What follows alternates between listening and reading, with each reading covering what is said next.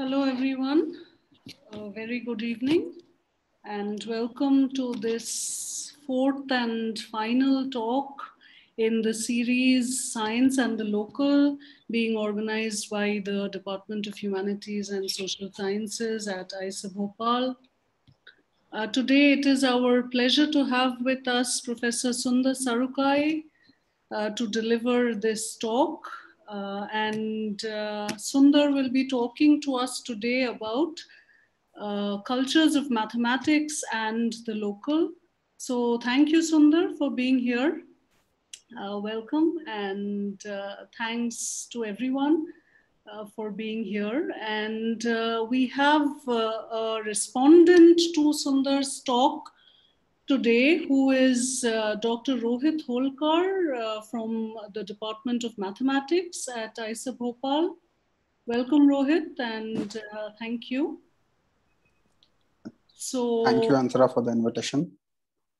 Thank you. And uh, so, uh, with that, uh, I think I will hand over to my colleague Varun who will uh, formally introduce the speakers uh, and um, uh, then uh, we'll uh, move on to Sundar's talk. So we look forward to a very uh, stimulating session this evening.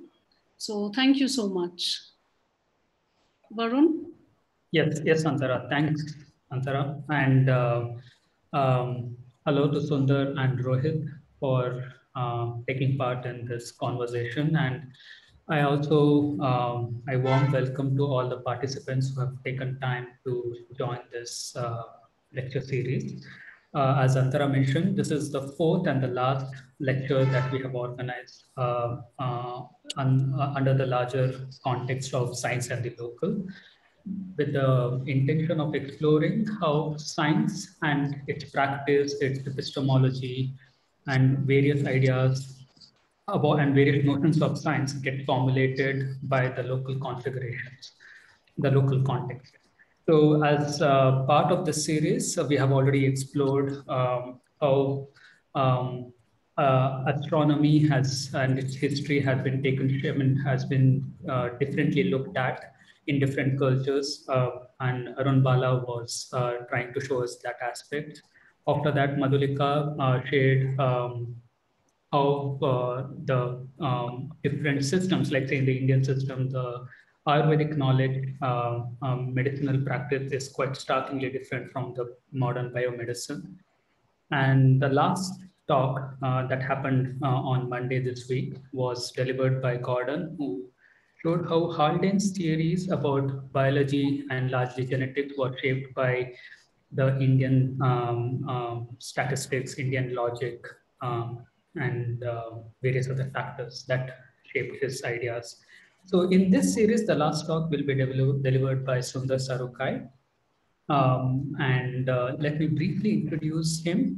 So Sundar Sarukkai is the founder of the Barefoot Philosophers, an initiative to bring philosophy to the public. He is presently a visiting faculty at the Center for Society and Policy at IISc Bangalore. He is the author of uh, the following books, Translating the World, Science and Language. The second book, Philosophy of Symmetry. The next one is Indian Philosophy and Philosophy of Science. And uh, following that is What is Science book, published by National Book Trust. Along with that, he has co-authored two books with Gopal Guru, The Cracked Mirror, an Indian debate on experience and theory and, uh, and theory. And the next one is uh, Experience Caste and the Everyday Social. He is the co-chief editor of Springer Handbook of Logical Thought in India and the series editor for the Science and Technology Studies series, Routledge. Sarukkai was a professor at National Institute of Advanced Studies till 2019 and was a founder director of the Manipal Center for Philosophy and Humanities at Manipal University. His forthcoming book, Philosophy for Children, will soon appear in English and other languages. And uh, after that, I want to briefly introduce our respondent for today's talk, uh, Rohit uh, Holkar, Rohit Dilip Holkar. Who is an assistant professor at, um, uh, at the Department of Mathematics in IISER Bhopal. Uh, he has a PhD from University of Göttingen, Germany, and has done postdoctoral in several other several institutes like uh, the Federal University of Santa Catarina, Brazil, and later has joined IISER Pune and later did a postdoc in IISER Pune. Uh, Rohit works in operator algebras, which is a part of a broader stream of mathematics called analysis.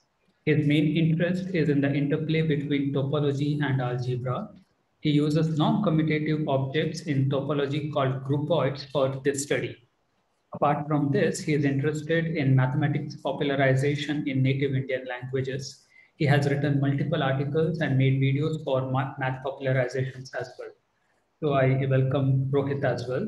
So the format that we will be following for uh, uh, today's talk is uh, Sundar will speak for uh, 40 to 50 minutes and Rohit will respond to that for five to 10 minutes. And later Sundar can add to Rohit's point, and after that we can open the discussion to the other participants. So Sundar, will you um, start the lecture? Yes. Uh, thank you so much, Varun. Uh, thank you so much for the invitation. It's a pleasure to be part of this series. Thank you, Dr. Antara, for extending this invitation on behalf of your department this has been a great series so far. Um, I think you know it has opened up new ways of thinking about science and other disciplines and the idea of knowledge itself. And I hope um, you know people at Bhopal, uh, I mean at your institute, your students and others who are interested in it, found something worthwhile to take home and think about it. Um, we we started off with this wonderful uh, lecture by Arun Bala, where he set out some very important questions relating to the possibility of understanding science and in their practice in Asia, the Middle East, and other regions, with particular focus on astronomy. And Madhulika continued it by posing these questions about what constitutes knowledge in medical sciences, particularly the Ayurveda. Um, and I think all of these, both of these were responding to the larger question of what constitutes scientific knowledge per se, and whether there is a kind of a plural approaches to these questions of knowledge in astro astrophysics, for example, or astronomical calculations, as well as in medical science. Uh, Gordon's uh, talk on uh, Monday brought a new dimension to it by bringing us to think about the questions of the tra transmission and circulation of ideas through with very specific questions of culture by looking at Mahalanobis and uh, Haldane, largely Haldane's work within in India and the impact on uh, genetics and related fields in biology. So what I'm going to do is, um, after having heard these talks, um, when I knew that these are the topics they're going to talk about, I decided I would want to focus on the question of mathematics. Because in a sense, mathematics is the last frontier for any questions related to ideas of scientific knowledge. There is a lot that science inherits from mathematics, inherits from an image of mathematics, including questions of objectivity, universalism, and so on. So to me, one of the most important ways to understand or to look at multiple possibilities of other ways of looking at science, for example, and to broaden the very idea of what science is, is to you know, uh, go and, as they say, beard the lion in its own den. And that is to go and look at the idea and the question of what mathematics is. So uh, that's the reason why I uh, thought that I would specifically talk about the very possibility of ideas of cultures of mathematics in the hope that this expression can catalyze thoughts about you know plural ways of looking at mathematics in some sense so let me share my uh, slide, which I hope works. And uh, sorry, just a second.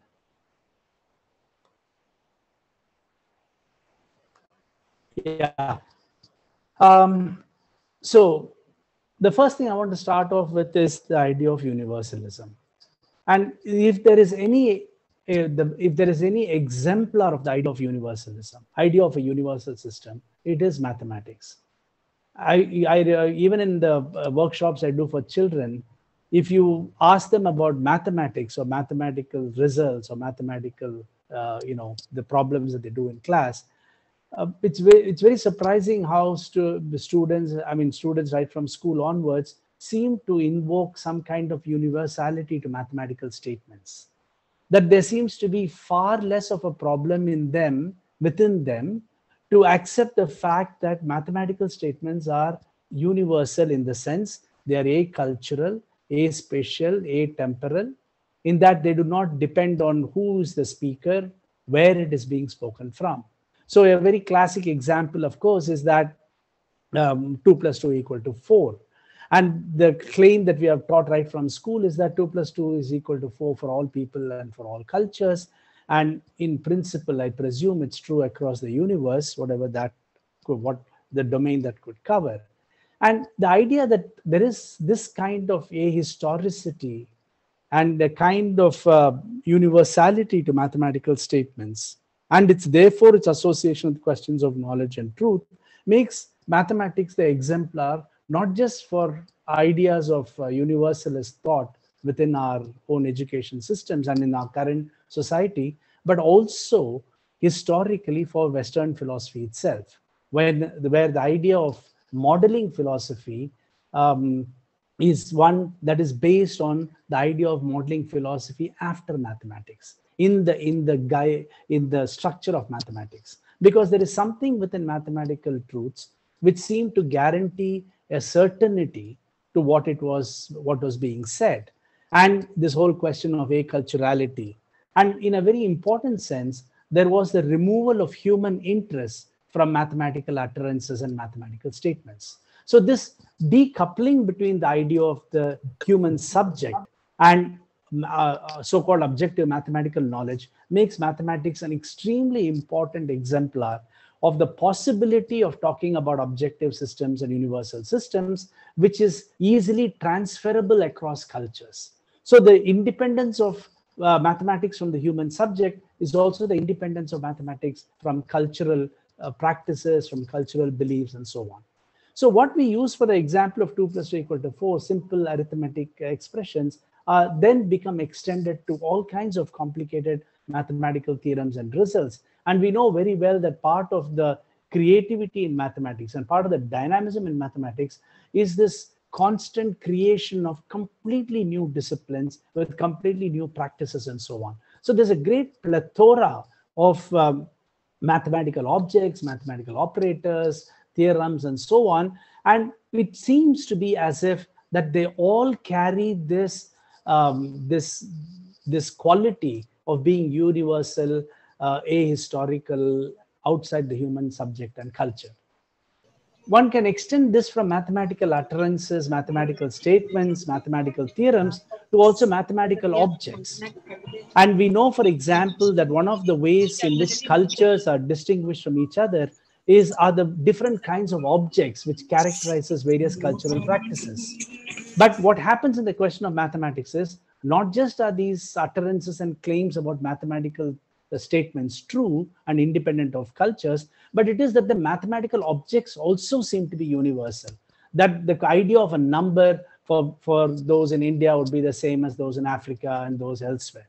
So that idea that that there are when we talk of the universalism in mathematics, that there are very different domains in which this universality is being manifested and exhibited, ranging from the objects of mathematics, which makes it common to everybody, common to use the using them in very similar ways, and also methodological.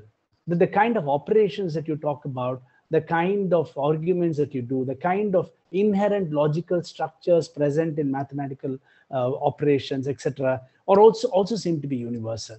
In a large sense, and this is something which philosophers like Wittgenstein, of course, are aware that there is something about mathematics which is so much about rule following, following the kind of rules which are already inbuilt into the discourse. In such a case, we also recognize that rule following is also a kind of a universal given.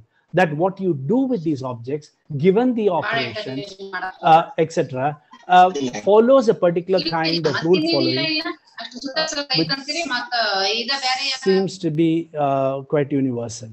Uh, similarly, that the claims of mathematical knowledge, mathematical truth, etc., are also universal. And most important, in a sense, bringing all of this together is the discursive structure of mathematics itself.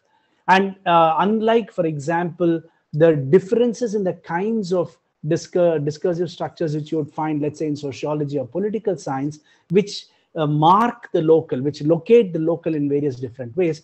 Mathematical discourse seems to be completely indifferent to the question of the local if we understand local in a very restricted sense. Okay, and I'll come to that point a bit later. Now, therefore, the question about this universalism in mathematics uh, is really something far more deeper about the nature of mathematics because you want to understand what is it about the numbers 2 and 2 and perhaps uh, the operation which we don't talk too much about the plus what is it about these three entities that 2 plus 2 is always equal to 4 what does it say about that? Why is it that one would assume that this makes sense for us unproblematically right? And part of that is uh, is you know the the ways in which one responds to this both within the mathematical community and both in the way mathematics uh, the rhetoric of mathematics is developed is that all mathematical statements are true and that there's a universality of these mathematical objects like numbers and sets, sets etc and everything else which follows is that in some sense it is because mathematical these entities are real and exist in some sense. So these entities the existence of these entities the processes relating to these entities are real okay and we'll very briefly look at what it could mean by saying um, uh, that it is real. I'll come down to it when we look at the various aspects of universalism of mathematics. So uh, the reason why this becomes a very important point as i said is that universalism in science is based on this aspect that much of uh, science the universalism claims of science are borrowed uh, because of its uh, you know cohabitation with mathematics. There's a lot of um, you know surrogacy involved in borrowing certain qualities of mathematics into that of science. And one of the best expressions, uh, uh, one of the best uh, ideas which expresses this is the argument that mathematics is the universal language of science, something which is so popular right from early times, most well exemplified uh, by Galileo when he calls uh, mathematics as the language of nature. And even to the present day, when we keep repeatedly seeing descriptions of mathematics as the universal language of science. In other words, it's somehow that idea of all the sciences can be captured through this question of this language. And part of this, uh, by the way, was also a question we discussed after Gordon's talk with Vinita and Gordon had this very interesting discussion on the use of mathematics and biology, as some of you who were there might remember. In, but once you invoke the idea of mathematics as a universal language, you have to do it with caution because the, the analogy with languages is filled with a lot of pitholes because the biggest problem is that languages are cultural. Languages are cultural pro productions. Languages embody and mark culture in so many different ways. Uh, but the moment you use language and mathematics in this sense, you have to be very careful in the way we uh, suggest the language aspect of mathematics. And, the, and, and what uh, Galileo does, of course, and what follows after that uh, takes care of this by saying, uh, you know, mathematics is a language not of people, not of culture, not of humans, but of nature, whatever that thing called nature is.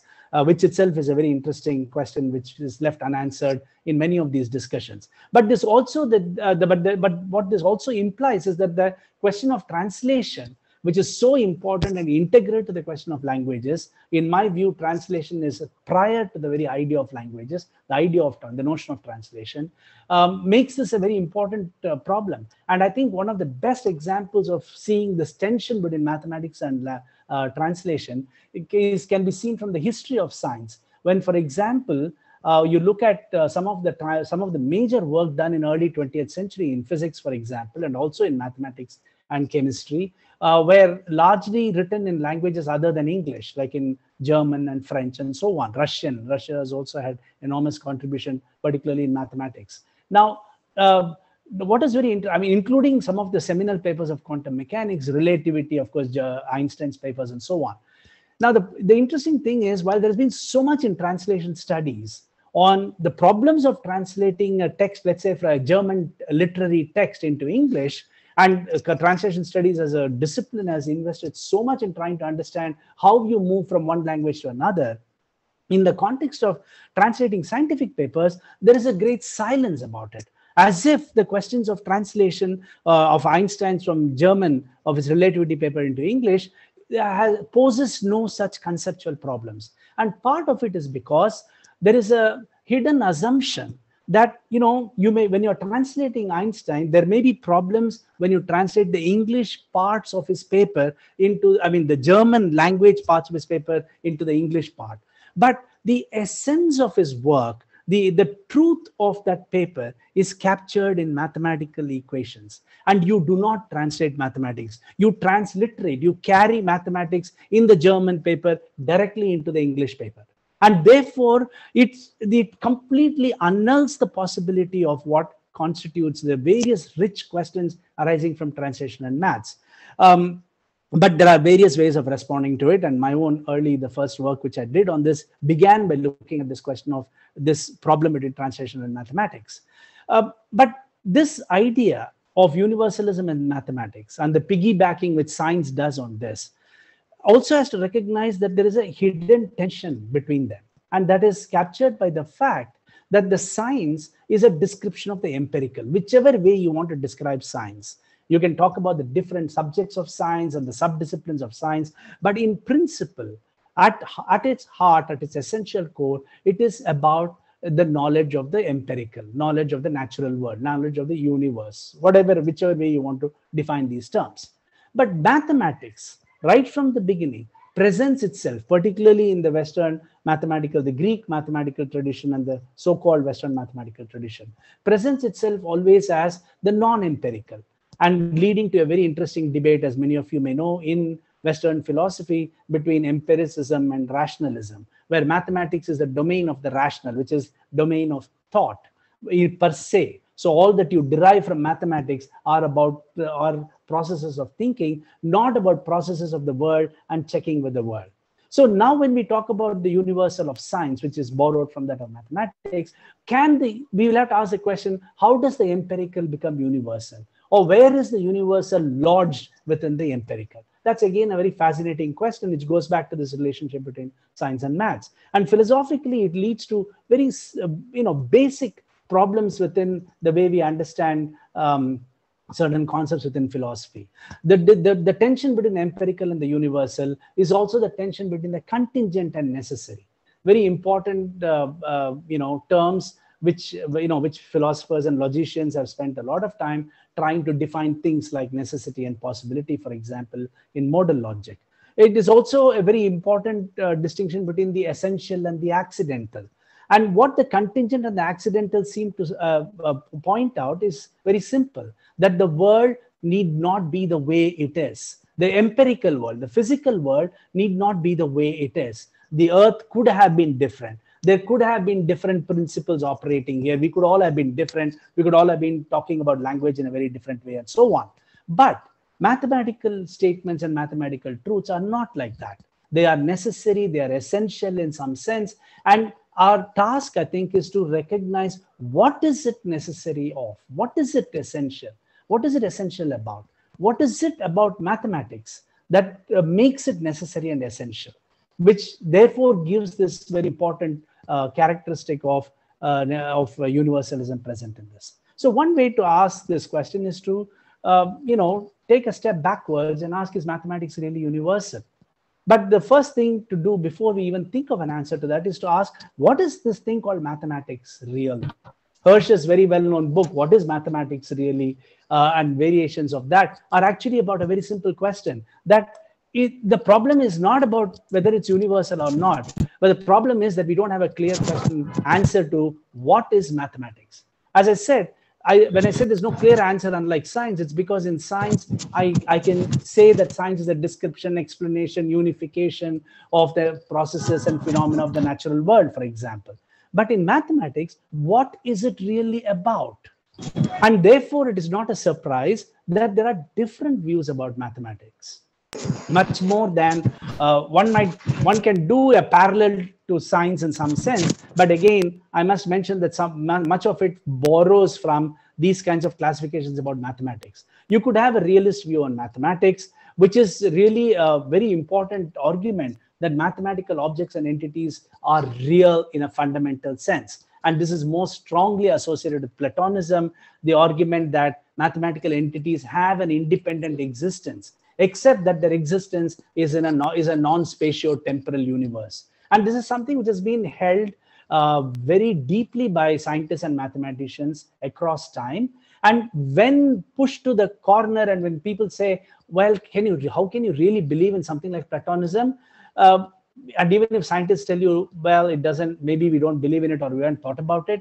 It doesn't matter because the discourse of mathematics, the writing of mathematics, betrays its its commitment to um, realism. So this is a wonderful work by Hartry Field when he talks about the question of fictionalism, where we show that just the writing of mathematical statements is as if mathematical entities are real and they're as real as tables and chairs. And our description of mathematics is like my descriptions of tables and chairs. But that's not just the only way. There is a there's a counter to the Platonistic argument by the naturalist argument, which also moves much closer to the question of science. There is a very powerful structuralist argument about mathematics seen best as structural in terms of structural properties a formalist argument, which I'll come back to later in the uh, later as we talk along, uh, which is also um, and also a little bit about the constructivist. So there are different types of these kinds of ways of looking at mathematics and the confusion about what really is mathematics is actually a very important part of mathematical practice and the fact that mathematics can be so creative and spreads so well and if we try and say that well forget about all these kinds of views about whether mathematical entities, etc., etc. But can we at least accept it as a type of language, even though we may say language of nature, a special kind of language? Is it even type of uh, type of language? But then uh, one would then argue that the kind of language that is invoked in the idea of mathematics is not representational. It is not meaning making in the way we talk about what are called natural languages, like spoken languages and so on, but it is symbolic. And therefore, mathematical uh, linguistic practices seems to be just a manipulation of symbols. But the, the interesting point here is this. If I look at it in this particular manner, why should my creation of symbols and manipulation of symbols create these kinds of universal truths? Why is it that they should relate to the truths of the empirical world? And that remains, I think, one of the driving questions uh, in philosophy of mathematics. And again, if anybody was thinking about the foundations of mathematics in some sense. In contrast, what I want to suggest is one way to respond to this question of universalism is to look at the growing body of work on pluralism. And although they do not, many of them do not invoke the very problematic term cultures of mathematics, which I invoke particularly for rhetorical and polemical reasons, um, there is uh, a very well-developed uh, you know, amount of scholarship on the idea of pluralism. And pluralism, of course, speaks very closely to the idea of cultures, um, which and because one of the defining aspects of cultures are that they are pluralistic and they exhibit great diversity and that's really what uh, we mean when we talk about in general as cultures. So when I'm invoking the cultures of mathematics, I'm invoking this image of the pluralistic traditions of mathematics which exist in uh, in communities of their own. I mean, in a world of their own, if you like. And one of the basic arguments of pluralism in mathematics by uh, by uh, work, which I must say uh, much more than philosophers, very much driven by mathematicians and logicians themselves, very who are very interested in questions of foundational issues of uh, and questions of philosophy in mathematics. Is that is a very simple observation by many of them that there is no one unique foundation for math mathematics. And they also point out, just like we spoke about different types of universalism, universalism in mathematics coming from knowledge, from objects, from rules, etc. They also point out, as Michelle Fields in her book,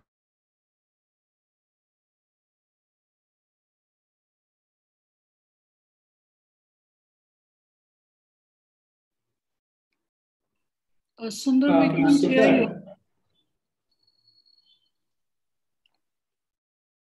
Uh, Sundar, I don't think he can hear us either. I think, yeah, there has been. So you lost my sound? Yeah, Sundar, we lost you for the last 30 seconds. 30 seconds. Okay. Yeah. Uh, I think uh, my thing went you off were in the back. About Sorry. Friend's book.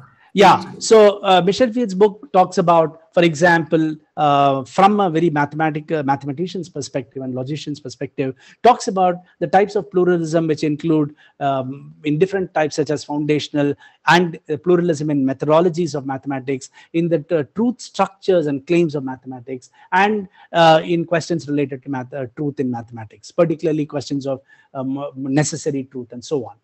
Uh, in the context of pluralism of foundations, Friend points out that, quote, insufficient, there is insufficient evidence to think that there is a unique foundation of, for mathematics. Several together inconsistent foundations of mathematics are what are actually present. And when you look at other kinds of pluralisms present in mathematics, it ranges from pluralism as perspectives. In other words, you know, there's not just one way of saying this is the best way of understanding this huge amount of mathematical production that is happening in the name of mathematics. It's not just one God's eye place where you stand and say, oh, this is mathematics. I know how to define it. Pluralism in methodologies, which are uh, which are very different across the different subdisciplines of mathematics. And one of the points in methodologies, and also a very interesting question, which I'll come back to very quickly later, is also that uh, the very idea of proof, which is very important both in science and mathematics, particularly for rhetorical purposes, uh, purposes is um, actually quite diffused in mathematics. Uh, if you look at mathematics as a collection of all these subdisciplines. So the, the plurality and the idea of proof, of course, can be seen very simply from having simple proofs like we learn in school mathematics, analytical and of course much very important uh, mathematical results, analytical, but increasingly more computational results and the questions of diagrammatic uh, role in the for formulation of proofs are all extremely interesting, like in graph theory and so on. Uh, Fields also takes the or uh, takes the uh, you know makes the point that pluralism in success there is already in the definition of what constitutes successful mathematics because she says there are different measures in mathematics. Uh, Hellman and Bell uh, again working from within the very deeply from within the, the, the technical expertise in mathematics and logic give a very nice definition of why we need to think of pluralism. These part many cultures which inhabit mathematics. They, they point out that as soon as one asks questions concerning very basic questions such as what is mathematics about? the question we began with what makes mathematical truths true why should 2 plus 2 be equal to 4 be true what is it about what that makes this somehow seemingly transparently true. So what axioms can we accept as unproblematic? And this, you know, for example, particularly those who know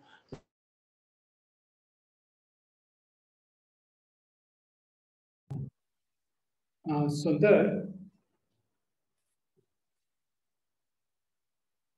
Sundar, we lost you again.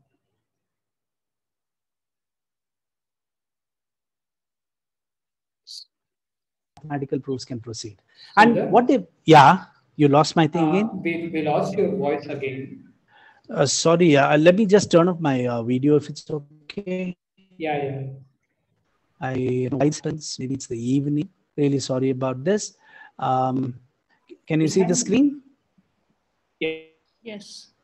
Yeah. Okay. So um, what they're pointing out is that when you ask, you know, you can proceed doing mathematics very well and you know it looks like you're producing a large number of very interesting results and so on and that's very that's uh, i mean that's um, you know that's the nature of mathematical production of uh, uh, its discourse but when you ask the basic questions what are you actually doing? When you're doing all this mathematics things become very contentious. And that's the point they're really talking about.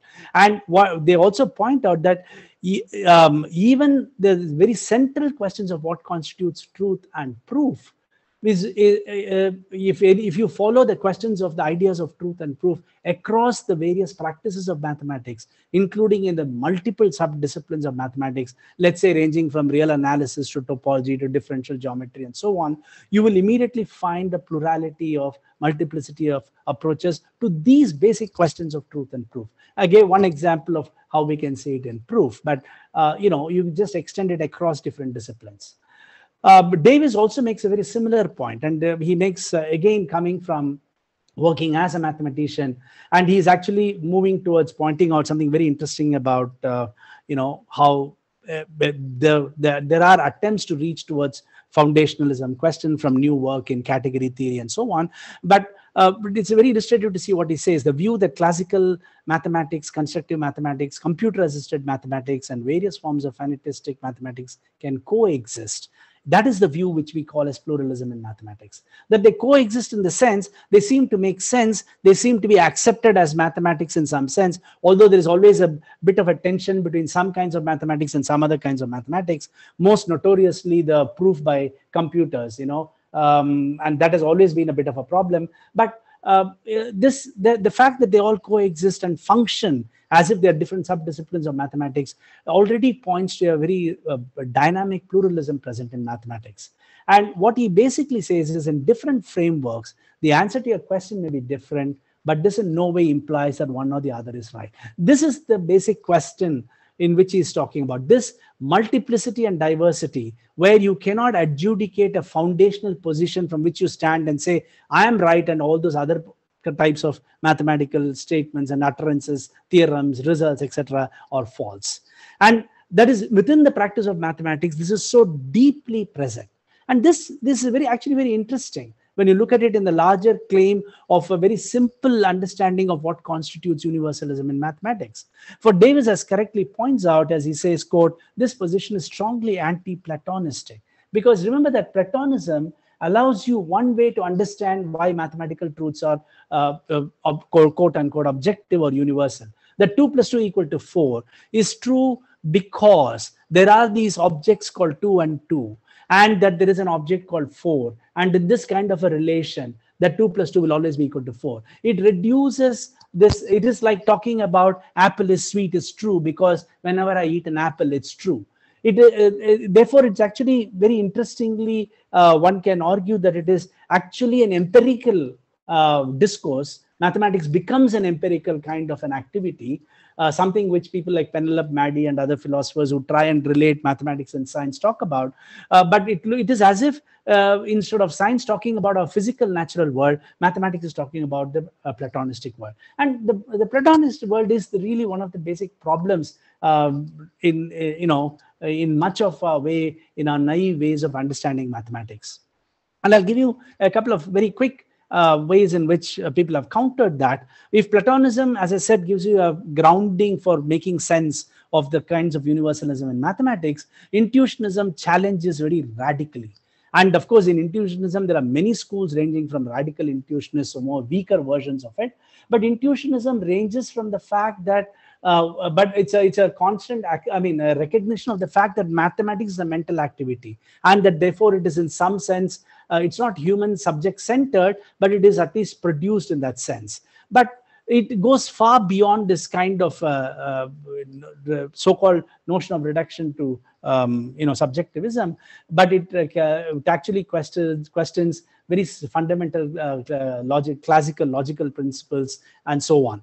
It is also uh, related to the question of constructivism, where the argument is that existence proofs in mathematics and generally other fields of mathematics are cannot be accepted because it is not a question of whether you can mathematically claim the existence of something, but that you should actually construct it in principle, in toto, to show that it can actually uh, exist or not. So this is particularly a challenge uh, against uh, Cantor's set theory and the questions of transfinite cardinals and the ideas of infinity and so on. But there are a lot of very interesting work um, from intuitionism, which is also close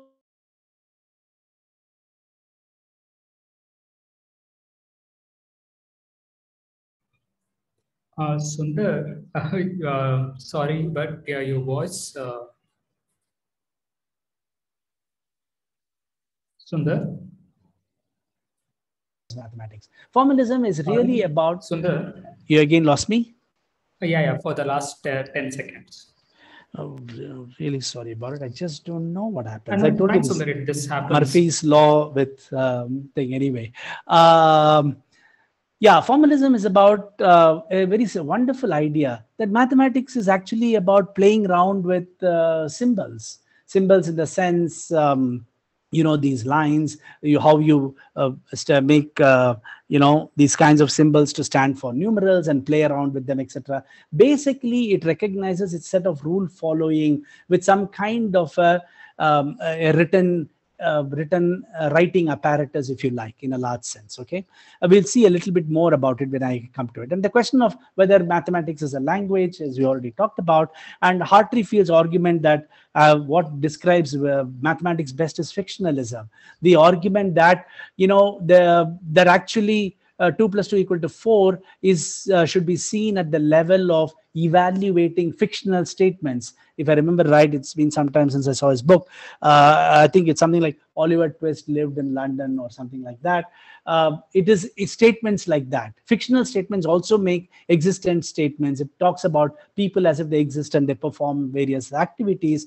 And uh, fictionalism um, so the fictionalism about mathematics is that it is a set of stories and narrative about mathematical objects and what they do in the world etc so uh, there has been very interesting attempt to uh, you know but fictionalism has not really uh, become very dominant in ways in which people have understood mathematics. And i'll, I'll say why there's a particular reason for this.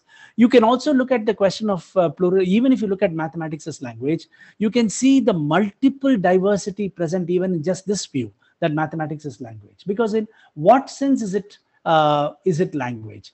The pluralities are exhibited in the following manner. One that mathematics is language of nature itself is very interesting.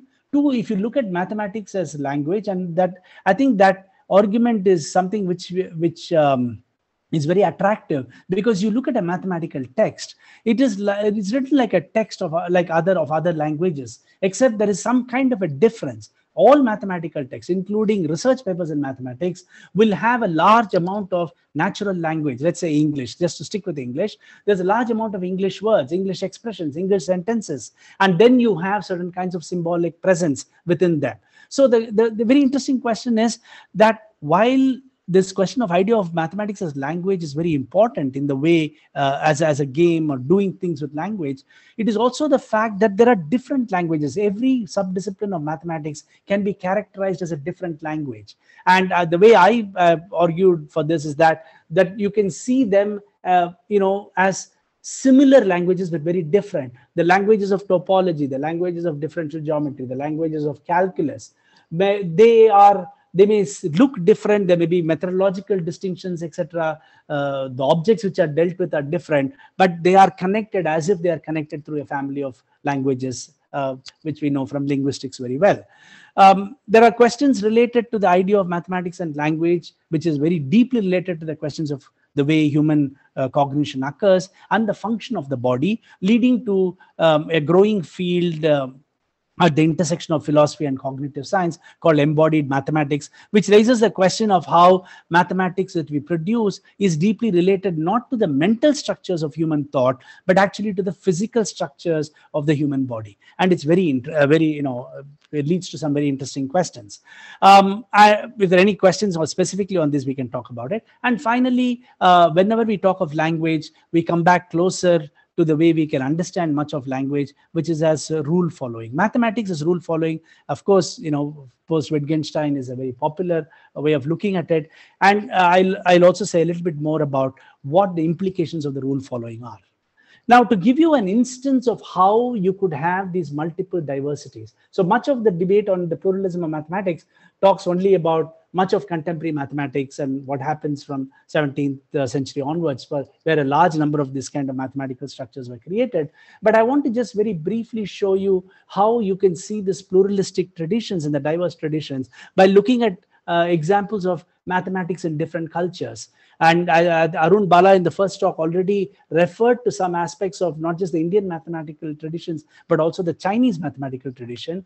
For lack of time here, I'm not going to talk a lot about the Indian mathematical tradition. I just want to highlight some fundamental differences between the nature of this mathematics uh, and what we see as mathematics today.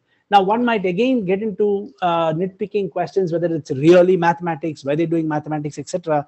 But after listening for half an hour to the idea of pluralism, I hope this question will not arise. The point is that the that there is something which is binds it in some sense what we uh, think of it as mathematics because remember till 16th century or so uh, indians had produced some of the most important results in mathematics and uh, which went, as Arun Bala wonderfully points out even in his book and in his talk, which uh, uh, circulates to the uh, Arabic world, to the Arabic Islamic philosophers, and then goes into Europe. So there's a lot of very interesting work on this kind of the nature of mathematics, and I'm using this to show just to illustrate how it is possible to think of such you know great production of work in mathematics, but based completely on different presuppositions and foundations. So let me just list some of the basic questions which have been talked much about. And if there are any questions, we can specifically uh, talk about it. But I just want to illustrate this thing. One point which has been very well made, particularly by Professor Roddam Narasimha in his uh, work on the algorithmic and the axiomatic, and which many people have followed and written about, is the argument that Indian mathematics is fundamentally algorithmic and not axiomatic, like the model of uh, Euclid. So you have a completely different approach to the question of mathematics. Uh, it is, uh, which means you also see how, um, you know, the way it is written, the way it is understood within a cultural tradition is radically different. And I'll show you how it is radically different very soon. Um, there is also the difference, while you had a very rich domain of mathematics in India, which created not just the the zero, the some aspects of the number system, very important results in trigonometry, algebra, indeterminate equations, and then of course uh, the pre-calculus uh, part which has been much under debate in recent times. But in all of them, you see that for all this work has been produced without using the kind of mathematics that are done today. That is, a representation of numbers is actually far more interesting. It is, um, it's not just symbolic, but it is through language, but it's actually a very interesting use of language itself. This is something which you can see in philosophical practice. For example, the Nyaya tradition, which tries to make language, quote unquote, if you like, more mathematical. But mathematics itself is uh, is is uh, expressed through language in very interesting ways. And I'll just mention very quickly uh, what that is. Uh, what that is. That would be like. And very interesting point about applicability. In a lot of uh, discussions in Western mathematics, it's largely the question of applicability is seen as separate from mathematics. And therefore, the very questions about the unreasonable, the surprise that mathematics can be used to model the physical world. And that surprise, the so-called unreasonable effect in mathematics, is never present in these uh, Indian traditions because the question of applicability is fundamentally inbuilt. And therefore, this suggests that the foundational questions, the metaphysical questions of mathematics in Indian traditions do not have the kind of anxiety which the Pythagorean tradition, the, the Greek tradition had about things like irrationals. And uh, the question of negative numbers, it's such a fascinating study by David Mumford, which I'll say, give you a little bit more uh, detail. So the question about irrationals, which made, um, you know, the whole question of what constitutes an irrational and the, the how to how to understand objects like square root of 2 uh, you know that kind of an anxiety doesn't happen in indian uh, mathematics at all. As we well know by many scholars who have written extensively on this by now by in Sulba Sutras you have descriptions of the mathematical approximation of square root of 2 purely as uh, building devices. These are just you're just calculating the simple question of how much should the length change if the, the area should double? And you then calculate it by approximation of square root of 2 without entering into questions of what kind of a creature is square root of 2 and remember for the for the for the pythagorean tradition its problem with this irrationals. It goes deeply into this idea uh, related to the metaphysical greek ideas uh, which are which are to do with finiteness with the question of rationality and masculinity and irrationality and femininity and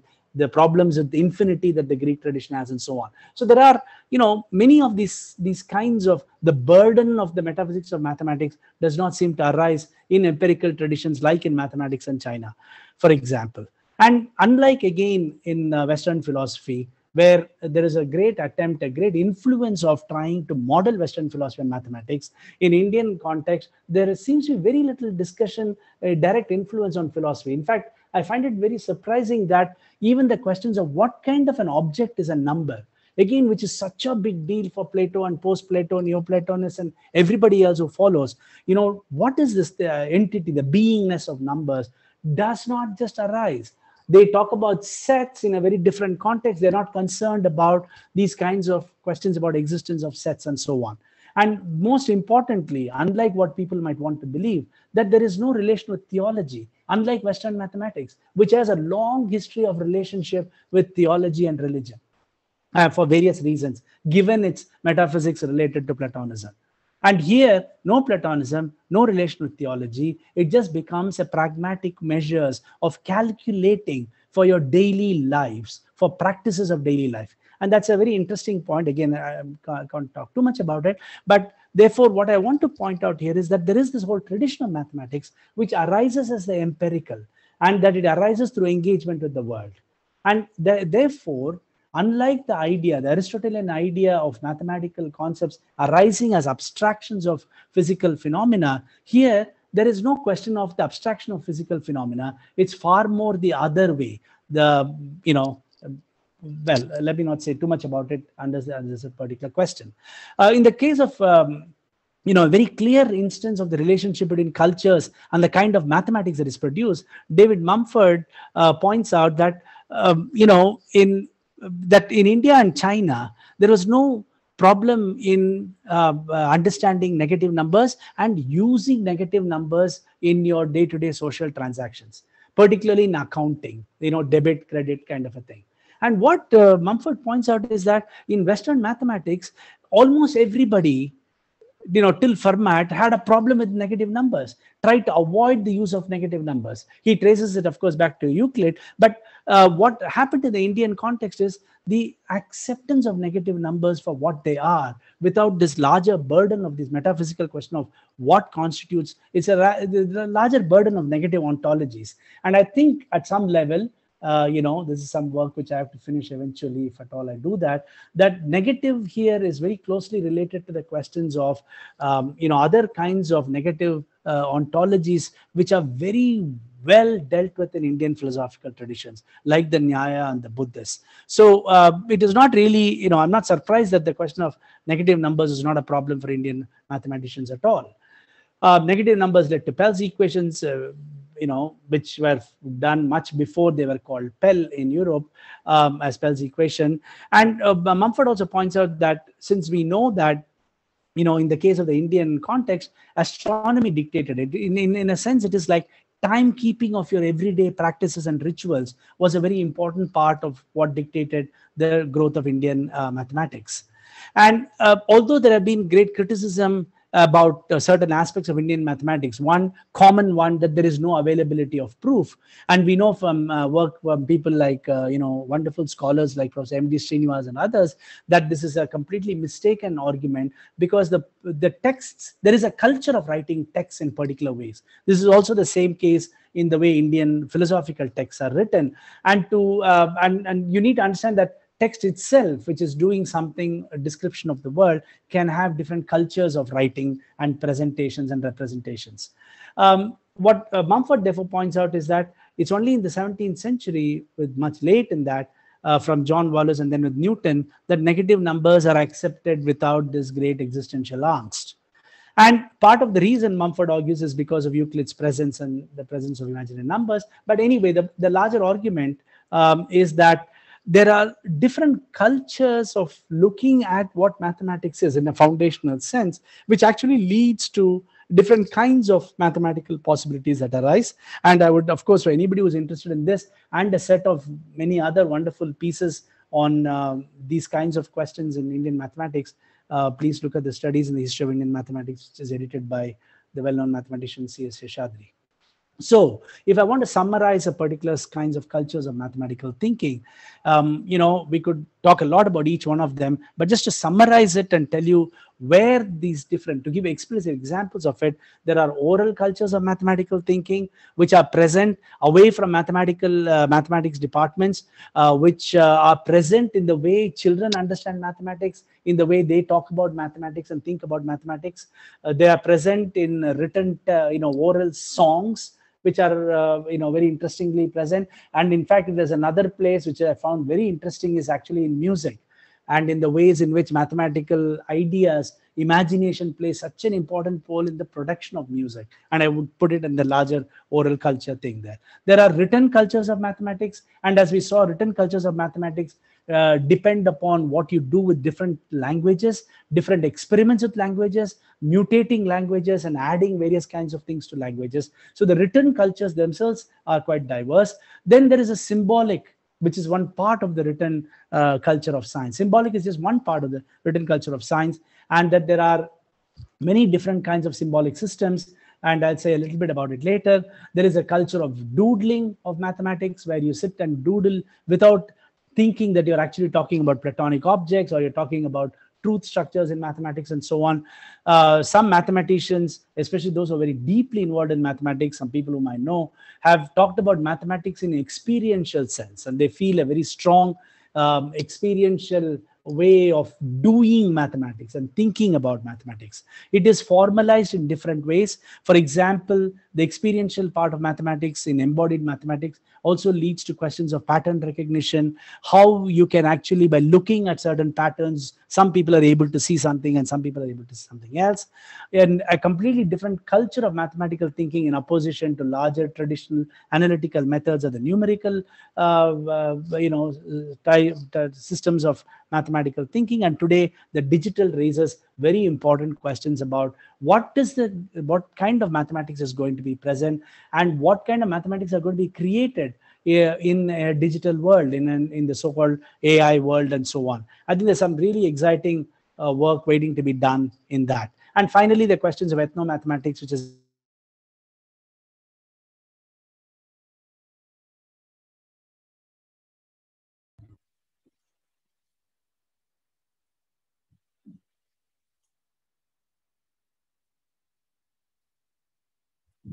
Sundar. Uh, how even simple things Sundar. like that. Yeah. Uh, can you uh, start again from the ethnomathematics? Okay. Uh, yeah. So the, I said ethnomathematics has become part of a larger discussion on, um, um, you know, uh, questions of decolonizing mathematics and so on. But largely, they become cultures of mathematics in that that there are different ways, cultural productions of what one would call as mathematics. Now, when if somebody tells them that what you're doing is not mathematics, then the burden is on the person who is telling them what you're doing is not mathematics. Because if they turn back and ask, okay, so tell me what is mathematics and I'll take a call on it, uh, then it becomes far more uh, difficult because you will see um, when I come to this particular point why that question becomes very important.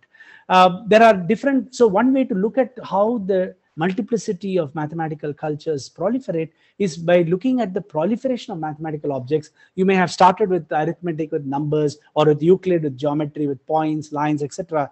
But then you go along with all kinds of stuff. I'm sure Dr. Holker can tell us 100 other new mathematical objects which we have not heard of, which they are doing something with. And, uh, you know, and it'll be they produce not just these objects, they produce uh, mathematical operations in each of these domains. A very good example of uh, a contentious question in history of science, uh, but something which I think is very remarkable if people look into it very deeply, is the fact is the is the development of calculus. We know that in Western historical accounts that the history of calculus is often shown as a kind of a uh, you know fight between Newton and Leibniz, etc. But uh, as many scholars like Professor M.D. Srinivas and others have pointed out with the Kerala Astronomy School, that uh, the Kerala Astronomy and Mathematical School predates many of the early ideas of limits and infinite series uh, uh, in their own uh, construction of this calculus, the so-called pre-calculus or proto-calculus, much before uh, Newton and Leibniz, for example. Um, but there are there are many other things associated with it. It's not just to say that kerala mathematicians are doing it but the fact that they did a text without the symbolic uh, uh, ease with which is available to people like leibniz. And leibniz was a very important contribution of leibniz as a mathematical uh, mathematician and philosopher was in developing the system of science and his deep uh, symbolic representations of mathematics, right? But there are great implications of these kinds of things. As C.K. Raju has uh, pointed out for many years and quite vocally, that this kind of models of calculus present from Kerala uh, school has many deep implications even on the teaching of mathematics and how we even understand the basic conceptual structure of calculus, for example. And finally, the point which I'm going to end with very quickly here in the next few minutes is that uh, is the argument about applying mathematics. And uh, I think the application of mathematics is the one of the most important questions. It raises the question of what is mathematics to a completely different uh, kind of a question, and it is uh, it illustrates a very important question of a culture of application. There are different types of application. People who apply mathematics uh, across different disciplines. You can apply mathematics anywhere, any discipline, you take it and put it, and you can do something with it. But what the processes of application? There are no very clear cut rules of saying this is how you should take this set of mathematical objects and do it. The history of science is filled with such uses of mathematics, and each of them illustrate very well that their cultural stylistic methods of application matter very differently in uh, different kinds of um, application. Now one of the ways in why i think one should take this question of diversity and plurality very seriously is by just looking at this very simple question of symbols. And this is the uh, the point i'll just try and end with that the symbols in mathematics. If we accept that mathematics is a language with symbolic manipulation, I'm just taking symbols and manipulating them, we have to recognize that the creation of symbols itself is created through a very unique logic within mathematics. They just don't take whatever uh, symbols are needed. There are very important cognitive strategies present in the creation and the use of these symbols which really converts the way we understand the diversity of mathematics because this is a very creative process. In the indian system we knew that there are i mean we know that there are examples of numer- you know writing numerals and numbers etc in terms of um, language terms but it's a very complex system particularly the Katapayadi system which uh, which has been used in modified forms in various uh, indian texts. But uh, they have a very different kind of a power and we have to recognize that the symbols which we use today, as I said, are largely from the 17th and uh, more systematic only in the 19th. Even such a simple thing like the symbol of uh, pi is uh, as late as uh, you know 1706. Now, my interest in this point is that the cultures of symbolic uh, use within mathematics points to something which is very unique and very important, which shows why pluralism in mathematics is so striking. It is not just about language, which is related to the question of symbol, symbols and meaning and so on. It is also represented, uh, it's also related to visuality. And this is a question which, is, which strikes every social science and humanities student who looks at a mathematics textbook and says, you know, I don't know that I understand it or not, but I can tell you that it is textually very rich. It's a very multi-semiotic uh, text. It has natural language words, it has graphs, it's diagrams, it has charts, and it raises a very simple question of what are they actually about? What are all these symbols about? If symbols are what represents and stands for mathematics, what are they really about? Are they just self-referential? Are they just squiggles which you make on the sheet? Or would you want to say that we are actually talking about a platonic world where every symbol that you create every object mathematics which is represented as a symbol immediately stands for that object in a platonist uh, in a pl platonic world? But we know that the function of the symbols is far more than these. Function of the symbols is to give us new forms of cognitive capacities to create new mathematics. And a lot of mathematics in the sense works through pictorial cognition it works through linguistic cognition. And the way in which it is written is a very fascinating aspect of how mathematics functions. And I'm just sure, I mean, I'm sure as mathematicians, you have seen enough of this as science students, but just to give you an example, um, taking the excuse that this is a Department of Social Science and Humanities talk, um, that, you know, if you have not seen enough mathematics, here is the way mathematicians talk about their field and i'm looking at it and wondering what are they doing? What are they drawing? Why is this drawing so important? How can they communicate so much through these kinds of more and more fertile pictures? As ronald uh, chris in one of his uh, slides points out very interestingly that the ways in which this representation happens in mathematics moves from tables to the in, uh, to the late 17 in the late 1700s to graphs and then to compressed graphs of the of the, the colored form that you see and he makes a very interesting point that uh, in, in, the earlier times, it was more quantitative. And actually, this kind of mature mathematical visualization has become more comparative and not quantitative. Uh, just as an example of how this mathematical writing which creates a multiplicity of mathematics occurs is by if you look at the way in which mathematical um, things are written which i have called as alphabetization in mathematics in my book translating the world where i look at many such examples you just look at them and ask why do they write uh, you know they're writing about homology and cohomology groups. Why are they writing something h and superscript q bracket d subscript 8 um, you know and then you put a semicolon z and then cover it with a bracket these practices of writing are very important. They indicate the fact that this particular symbol uh, hq uh, that particular group structure refers to a particular group refers to a particular entity. But it is this uh, multiplicity of this which really makes mathematical pluralism very vibrant. And the last point therefore i'll do with this so that i end here uh, is that this is best expressed in the problem of applicability of mathematics. We could say that mathematics is just about symbols. We could just say there are multiple foundations.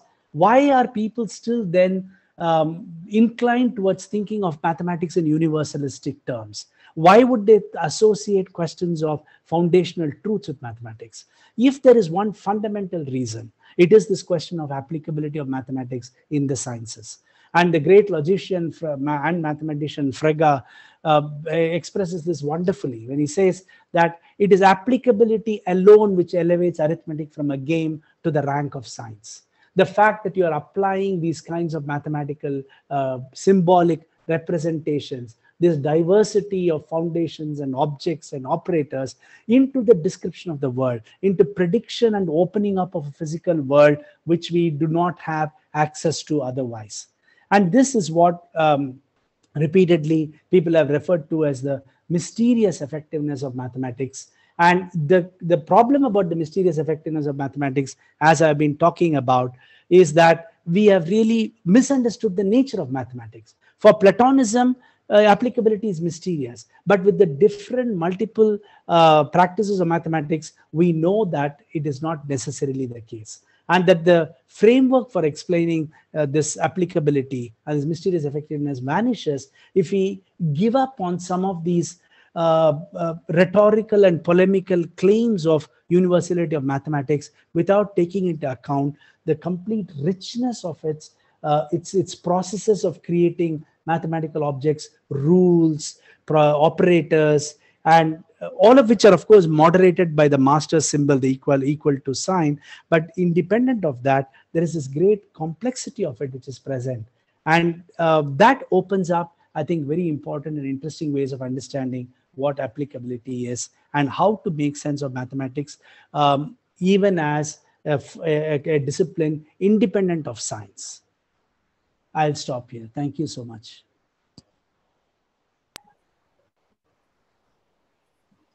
Sundar, thanks for this uh, fascinating talk. Uh, can I uh, call upon now Rohit to respond to this thought? Uh, may I, Varun? Yeah, please, please go ahead. Oh, yeah, sure. I would say it was a very interesting talk because uh, you see, we, we usually discuss about the nature of mathematics, its applicability, and uh, how it is related with um, the the day-to-day world that we have. However, uh, in, when Sundar discussed it, I mean, he has really gone into details and bits of pieces of the this translation and the nature of mathematics. So it was very impressive to uh, hear it. Uh, I just made certain points which I would like to cite and uh, a few doubts which I have. Uh, namely, so the first comment is that uh, this universality of mathematics in sciences uh, is a very interesting point. I would like to cite a few more examples. Uh, um, so I, I, particularly like the idea that uh, what universality should mean in sciences is an idea which is possibly originated from the universality in mathematics. That's very fascinating to think about because it seems very plausible also that in mathematics, usually people like to generalize the structure. You give one particular uh, structure uh, and then people would like to think about you know, what happens if you reduce a few more actions. and one keeps going into generality, wherein the universality comes into picture. The simplest example, which I usually tell in my classes, uh, is that uh, you see, when one looks at the Newton's laws, uh, when one looks at Newton's law of gravitation and the Gauss law of electric intensity, the nature of both the laws is same. It says that a certain quantity is directly proportional to a cons uh, is directly proportional to rate of change of something, and constant comes into picture. So if you look at the equation for electric intensity and the gravitational force at a point, then mathematically they are the same structures. As a differential equation, they are the same thing. And then what mathematicians would think is solving this equation will solve both the problems for me. So you see, that's the universality in the idea. or on the other hand, if you take the Newton's laws of motion and then if you take many equations in electric intensity, uh, uh, current electricity, uh, they have different meanings, but uh, all of them are same as set of differential equations. It's basically first or second order differential equations. And solving this first or second order differential equation at once solves the problems in kinematics as well as uh, electronics and uh, much more, uh, many other subjects also. So that is an interesting, uh, really a very different perspective that how the universality in mathematics gets reflected in other sciences. And then people talk about more general, which is kind of universal. Uh, secondly, the translation between mathematics and uh, sciences, or I would say mathematics and uh, the nature, uh, whatever that is, is again a very interesting topic. Uh, a very, very favorite example of mine in this case is uh, the Banach-Tarski paradox, which says that you can take a small pie and cut it into small pieces finitely many, rotate them in place, and when you put them, the volume is like equal the volume of the earth or something like that. So, you know, these theorems are very popularly discussed on internet and popular science, but that's basically the translation part. Abstractly, you have proven something and then how will you interpret it? Uh, so certainly that is definitely a kind of problem and a thing one has to ponder upon and think about how these results should be translated and not just for the sake of translation but also because abstract mathematics has grown so much in its nature by now that at some point of time even people would wonder experts wonder about what is the meaning of certain theorem that we have in hand. Uh, is it even worthy uh, worth discussing? Uh, secondly this incompleteness theorem of Gödel. Again its interpretation is uh, very interesting. As a theorem one just takes it as a fact. We don't uh, really think so much about it, but its uh, applicabilities are very different. Its, its, translation in real world is impressive, shocking. Multiple feelings are involved in there when it comes. Uh, and uh, yeah, so uh, regarding the translation, my own observation, however, is that you know when we make a mathematical model, usually we, I, I personally think we approximate the actual situation. The simplest example is uh, a straight line in Euclidean geometry is supposed to be straight. It never bends, whatever that means. On the other hand, uh, as physics proves, again using mathematics, that you can't have such a straight line. So what I many a times feel is that when mathematical models are made, the hypothesis or the axioms are approximations to the real situation. Uh, and that could be the place where the discrepancy could appear that one has some mathematical result, which is based on certain axioms, uh, hypothesis. And the hypothesis and axiom, they might have some loophole uh, somewhere due to the approximative nature, due to which a translation may be problematic uh, when it goes to a very abstract sense. Uh, and finally, uh, regarding this, uh, regarding the discussion of Indian style of mathematics, the Indian culture of mathematics, yes, this is uh, this is very uh, impressive to note that the writing style in Indian mathematics is different. We don't go in the axiomatic method. Even in Lilavati, most of the nature, most of these texts are written in uh, verse. Uh, they are written in verses, and not in symbols, as modern mathematicians do. Uh, due to which they are lucid. Uh, also, the applicability of this this this mathematics that many of the problems are real life. I mean, uh, in Lilavati itself, many problems are very realistic in nature. Something breaks down, uh, someone's mala breaks down, the uh, the beads come out, and then one has to compute those beads, or some other problems wherein uh, examples. Uh, like one of my favorite problem is there is a lotus flower and wind comes and then it bends down. Then uh, Bhaskara gives, um, I think, certain length, the length of the um, stem of this flower, and then he asks uh, when, at what angle it will touch the water. Uh, and even in when it comes to the Kerala School of Mathematics, especially their calculus, the problems are very uh, applicable in the nature itself. They are trying to answer a particular problem rather than developing an axiomatic theory which will address two general problems. Uh, and I think in uh, one of the texts I read, uh, this Hindu mathematics by Bibhuti Bhushan uh, Datta, if I'm not wrong, uh, he also mentions that in quadratic uh, finding Bhaskara, when he was attempt his attempts to find the roots of a quadratic, he he doubts that it may have um, connections with the bookkeeping of merchants. Namely, merchants wanted to cal calculate uh, interests on the loans they have given. And that could have been the need wherein Bhaskara entered the business of calculating roots of a quadratic polynomial. Because such a quadratic comes into picture when you want to calculate uh, uh certain interest rates. So the applicability is certainly there. Uh, but like two questions pop up in my mind, uh, Sundar. The first is namely uh, this dispute uh, as you mentioned, that uh, it is certainly a fact that Westerners had a hard time in digesting negative numbers and irrational numbers, and they had a fight. I mean, literally, like Pythagoreans had a fight over it. I mean, people doubt they could have even had bloodshed. So, but we don't see such such a problem in Indian culture of mathematics. Uh, I, I, personally, I mean, my doubt is that is it because we don't have enough of documentation about it? Uh, because in Kerala School of Mathematics or in Bhaskara or uh, Aryabhatta's work, we don't see, uh, you know, unlike shrine, we have certain shrines of goddesses and then the tradition just comes as mathas.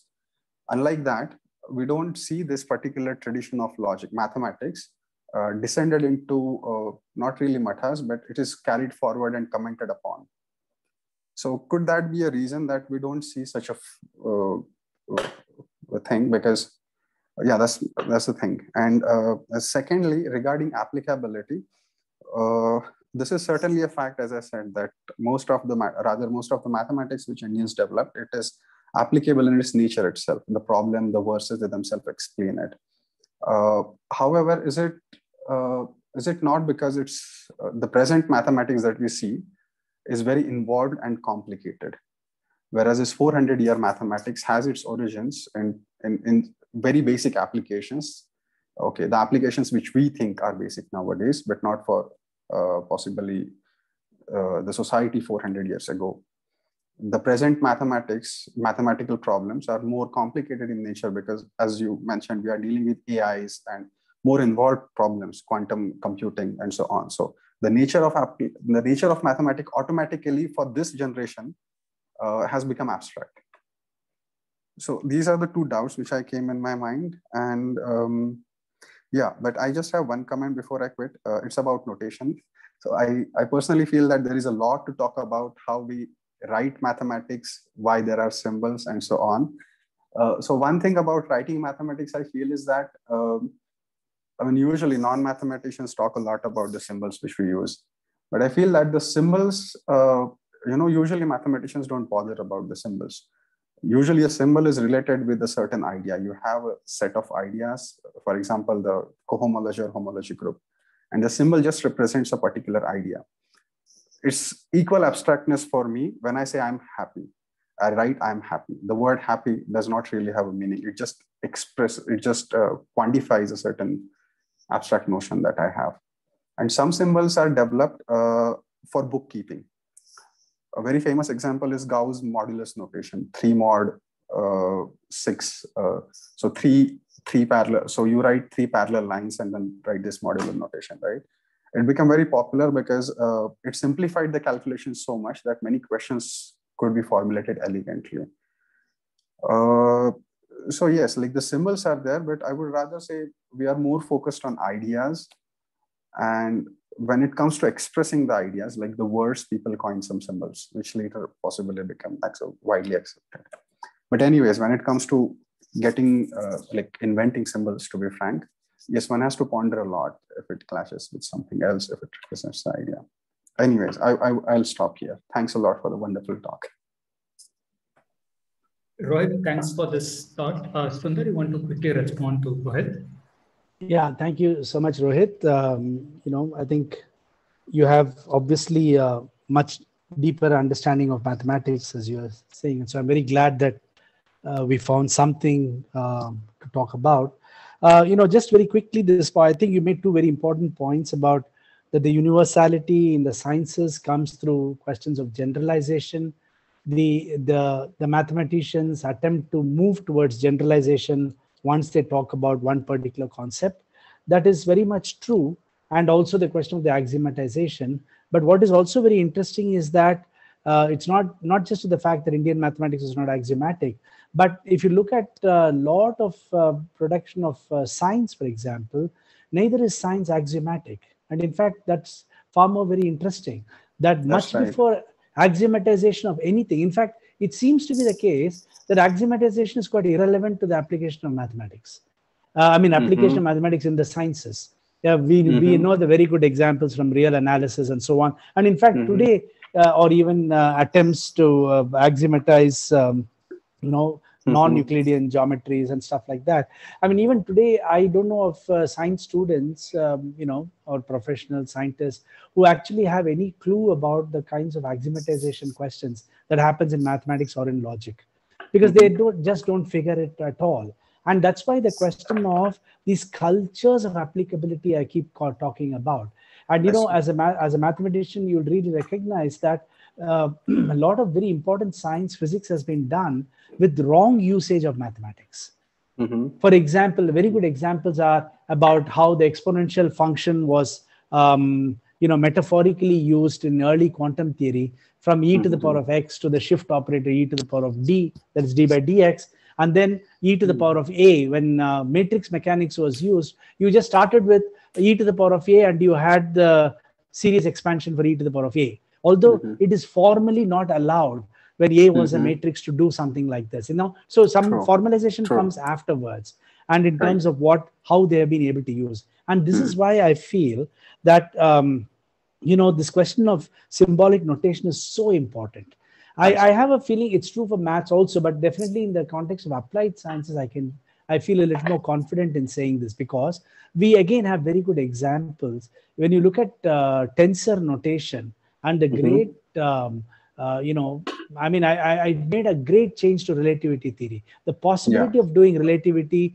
completely changes after einstein's understanding of tensor notation through mm-hmm. minkowski and others i mean the point is that it, there is something in tensor writing which captures mm-hmm. such profound simplicity and pictorial cognition. Mm-hmm. So, mm-hmm. you know, we have been doing so much of vector uh, multiplication, you know, two vectors mm-hmm. v dot the dot product uh, let's say v mm-hmm. dot v equal to v squared scalar but then you do it in terms of tensor notation and you write as mu subscript mu and v uh, uh, you know superscript mu there's a cancellation mm-hmm. of the superscript and subscript it mm-hmm. seems so trivial yeah. but it's so powerful and this extension of these things which have completely revolutionized major scientific work in relativity quantum theory etc makes us un- uh, probably think about the the role of symbols and the mm-hmm, fact that mm-hmm. cognitive capacity is associated with the doing of mathematics.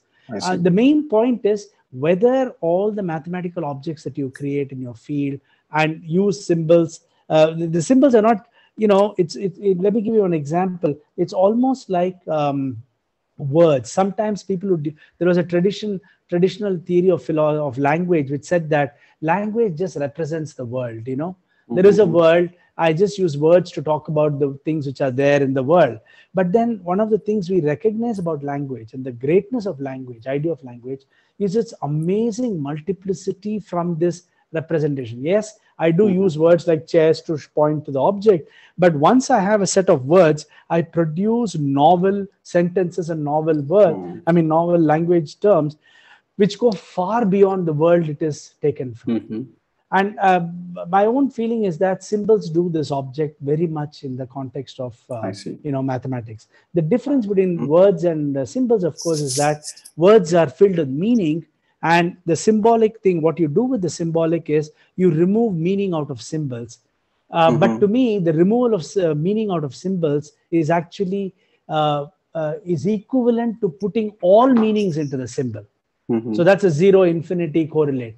Removal of meaning is actually allows it to take on any meaning it wants in any other different context. So it, there is something very interesting um, going here, which is what you know I would argue, and that's Mhm, part of my work, which has been to show this argument. So I, I do agree with you that uh, you don't bother with symbols maybe consciously, but it has a Mhm. great implication for the kind of results one is able to produce. And uh, finally, the point about square root of two, uh, very interesting point, whether there was because it's no documentation, but in the case of square root of two, for example, it's very clear, or even for the negative numbers, that there is documentation. We have the Sulba Sutras, which give you very clear Mhm. account of the approximation for square root of two and in the Mhm. context in which it is used. So um, I think there were, uh, yeah, this is an interesting puzzle. I don't know if it's because of lack of text or lack of translation of some of the text, but why does mathematics and these questions of mathematics don't seem to matter to the philosophers, even though they had produced such high level mathematics? Hmm, uh, there is some kind of a deeper question. One answer to that, of course, the fact that it's not Platonistic is one answer, but also because Indian philosophy's strongest point, along with logic, was its philosophy of language, uh, uh, which Western philosophy cap, ca- catches up only in the 19th and 20th century. So, given the fact, not just from Panini, but to the grammarians, the philosophy of language was so deep and central to all these kinds of philosophical thinking that they uh, mathematics never became, um, in that sense, a topic of worthy of fighting over or things like that, perhaps you know. But that's uh, Yeah. it's a very important question. Thank you so much for your uh, comments. Um, with this um, discussion, um, I would um, we can have uh, the participants raising questions, responses. Uh, so I would request the participants to raise hand, and uh, accordingly, I can go one by one and give you the. I mean, like you can speak and ask your questions. So can I request the participants to uh, raise your hand if you have any questions? So, uh, yeah, Kaushik, can you go ahead and ask your question? Hi, Sundar. Hi, Um, so, uh, one question I had was about elegance in mathematics uh, and the, the importance it seems to have in the way mathematicians understand themselves. Um, and I suppose one way to make sense of it is to push it into the experiential, that there are conventions that decide what is and is not elegant, you know, minimalism, for example, economy and so on. Um, and so you would understand elegance the way you would in other domains, like let's say music and poetry and so on. Uh, but it also seems to have, and here I'm thinking a little bit about what G.H. Hardy said about Ramanujan and so on. Uh, it seems to have truth value for mathematicians. yeah. Uh, and as Hardy said, beyond a point, these equations had to be true simply because, you know, on the LHS, if you have a scramble of things and on the RHS, it just says pi, you know, something that is such a beautiful deduction just cannot be a lie. So how do you look at this in any of the frames which you've set up for us? Uh, that's one thing I wanted to ask you about. The second is, um, this is actually a question that goes back several years since I've been in your classroom and so on. Like, it seems to me you're always fascinated when there's an, by distinctions that are absent in the Indian tradition in comparison with the Western. So for example, that the Nyaya syllogism doesn't worry about the analytical difference between truth and validity, that somehow it's not an issue for them. Or that, uh, you know, irrational numbers, uh, root of minus two, it, it's, it's, you see it as a pragmatic virtue that it doesn't bother people in certain traditions, as long as it helps you run your shop. You know, and this is the part that kind of worries me, where sometimes I think, or, you know, perhaps I've misunderstood what you were saying. Uh, do you think are there, you know, or are you aware of um, contexts where these things are seen as outliers that call for inquiry and therefore perhaps open up a new dimension? Or perhaps I'm simplifying what you've said. Uh, so, Sorry, you know, Kaushik, I just lost you after the differences in Indian thought. Just two lines I lost. Oh, okay. you know certain things certain distinctions that are absent in indian thought Yeah, fascinate you precisely because they are absent Yeah. uh, because even let's say root of minus 2 for example you can imagine two kinds of mathematician one who would really be paralyzed by it and worry about it in a metaphysical sense because it's an outlier to you know the system of thought one currently has. And the other who says you know as long as it has pragmatic value as long as it helps me run my shop or build a house and so on what's the problem? And somehow for me you know the ability to pose the question as a problem has always seemed to be the good side of the divide. It's important to worry about these things and for you the uh, denial of the problem or the pragmatic you know assimilation of that problem is the more important side so i was wondering if you could talk a, a little bit Yeah. about this as well in addition to the first thing about elegance in mathematics Yeah. Okay. Thank you so much, Kaushik. Um, you know, I think the second question. Um, no, I'm not saying I prefer the pragmatic over the metaphysical. I'm saying that there is this difference. And again, it's not even that I'm saying that that's better mathematics or worse mathematics. I'm just saying when people talk of universalisms and universality of mathematics with one foundation, with one type of doing it, etc. I'm just using these kinds of Indian mathematics or Chinese mathematics as counter examples. And that is why I focus on the difference to show what it is, how is it that they are different, and yet they produced some of the world's greatest mathematics of their times. Right? So it is just to show that the possibility of multiplicity without saying because there's the it's so difficult the starting point itself is difficult because they don't get the point that the mathematics can be plural so it's an empirical result in that sense but uh, if you really push me like you always do i guess whether i want to accept that square root of 2 metaphysically thinking about it is a better thing to do than just pragmatic uh, you know i think doing philosophy i would of course want to go towards the more foundational questions which i think is far more clarifying about that right? But i think there's a lot more at, happening here with the question of numbers. Numbers itself uh, you know there is a whole historical discourse around what numbers are before we even come to the square root of 2 so um, there are these questions about what what are numbers? How should they be constituted i'm not saying that the indians don't have a theory of numbers they do have a theory of numbers. They have a theory of plurals also in terms of perception and so on. I'm interested in the fact how there uh, in, a, in a because i think all knowledge is inherently hegemonic in character and it tends to occupy other spaces. You know it's like the big brother. So i'm interested in seeing how uh, there are other possible knowledges which are available. Can there be uh, because everybody says this can uh, you can say all this theoretically but are there examples of this? So it's only in that context that i was uh, talking about it. But i really think the question of what is a number is uh, or what could be the square root etc very interesting uh, theoretical questions. And it, it is a surprise as i said that it doesn't seem to matter much to indian philosophers. But i think that's my own reading is because of their engagement with language which is very different right? Um, the question about elegance in mathematics of course it's one of the pet topics of mathematicians. And they have made such a big virtue of uh, elegance and beauty that the re- one of the first responses to the use of computer proofs or methods of computer and proofs like in graph theory the color four color problem and also the the famous euler uh, thing you know this um, um, fifth degree thing a to the power of 5 plus b to the power of 5 plus c to the power of x is equal to e to the power of 5 the solution the fact that there's no solution to it was shown to be wrong by uh, just simple computation.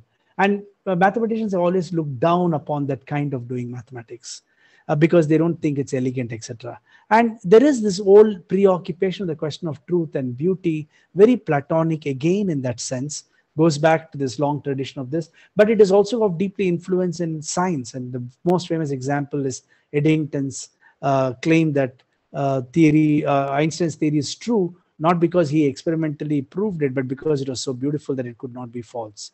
And of course people like dirac and hardy's very famous or uh, claim that uh, some of his most useful mathematics was to him the most useless because it was not the most beautiful. The truth is somehow present in there the, the idea of truth is actually not just about the aesthetic element there is also a moral element of disinterestedness truth comes because it is not useful. And that you because you may add value to something which is useful but how do you add value to something which is absolutely useless? And this value which you add the disinterestedness right which also becomes a kantian theme for aesthetics is a very important point i think in which they are uh, deeply dealing with. But uh, with all this you know i'm not even taking on the much difficult much more difficult question about how is it that the aesthetics of nature are very often expressions of mathematical symmetries and very deep mathematical structures you know that raise, that makes this whole question of what is mathematics into a completely different domain um, aditi you want to go next uh, yeah, sure. I'm, uh, my question is pretty similar to one that Kaushik just asked. And um, I suppose, um, and uh, I suppose I'd start with the point of applicability and um, this insistence. I'm not saying that you have it. I mean, the insistence mm. that we have um, um, on the applicability of science, of, of mathematics um, to the world. And um, uh, we were talking about you were talking about the delink of um, mathematics and philosophy that uh, was present in Indian mathematics, and which was uh, certainly not the case with Platonism and the sort of philosophy and mathematics that developed from there. But um, uh, I, I think that there is still a problem if we so closely link mathematics and science, really. And so the question that you brought in of um, you know mathematics uh, will stop will, will be less of just a game and more of a science. You know I, I don't know if i'm quoting it correctly. So um, i don't know it, it sort of you know made me think that if we if we start thinking about mathematics in terms of applicability we'll have the problem that for example 17th century science had of inverse world where uh, it's, it's just a question of um, what what will explain the phenomena best right that that mathematics is the one that you know is is is the one that we should choose. And um, and then that links to the problem of you know philosophy of language. And I, I only know it from the western tradition of russell and frege and everybody. But again this this whole issue of of uh, making sense, you know, that, that language sort of seems to contain within it, also I think would limit um, mathematics uh, in the sense that, uh, and, and, I think you brought up music, you know, like very sort of uh, in, in, in, bits and pieces here and there. And I thought that it might be better to think of it as structured like music. And again, the question of play versus science. And I feel that, you know, when we, we are thinking about the history of mathematics, if we delink it from philosophy, and if we don't think of um, uh, onta of mathematics at all if we don't think of you know the puzzle of what the onta of mathematics is and i'm not saying we need to go to platonism you know we can think of platonism nominalism we can think of all that debate and we can add new debates now um, I, I, think there is something that will that will hinder the the sort of the play in mathematics and the history of mathematics. So I, I was just wondering what you what you make of it because in, very fascinating talk. But I was wondering, you know, uh, how you would think of the how mathematics has progressed. I was thinking of it in historical terms. Yeah, thank you so much, Aditi. I think you know very important point you raise. Um, I, I, I agree with you that you look at mathematics. Okay, so first of all, uh, the linking between mathematics and philosophy has always been part of the practice of mathematics in the development of early mathematics. I mean, um, in the development of modern mathematics, right up to Leibniz. Leibniz is a classic example of a mathematician, philosopher who writes his major text on philosophy, but deeply influenced by certain questions of uh, representation of mathematics, creating a language, his famous argument for uh, universalis characteritas, you know, the universal language, which would uh, which would be able to allow you to do the same kind of language for things like mathematics and metaphysics and so on. Uh, and he, he also produced mathematics. His work on calculus has endured more than uh, Newton's, uh, you know, symbolic notations for calculus and so on. So that continues with Cantor, that continues till 18th, 19th century. It continues then with Hilbert and then with Gödel in the 20th century. So there is, uh, I think, within the mathematical community, at least for the uh, very important uh, seminal the, people who are, were very famous mathematicians, they've always been engaged with this foundational question. So I think it's an internal question itself and not one which is really posed by philosophy community as such. In fact, I think uh, in this sense, philosophy has largely been uh, playing a backseat and a kind of uh, following the leader kind of a thing. Um, you know, it can it can manifest in so many ways.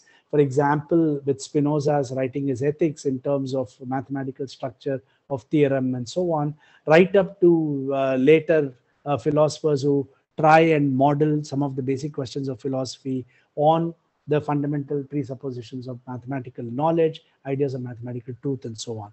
So, uh, but when these mathematicians in their practice are raising these questions, they're raising it, and I think that's the reason why I think it's so important that they're raising it because the kind of concepts they're thinking about already naturally force them to raise a question about, for example, in the Leibniz case, how do you actually define an infinitesimal?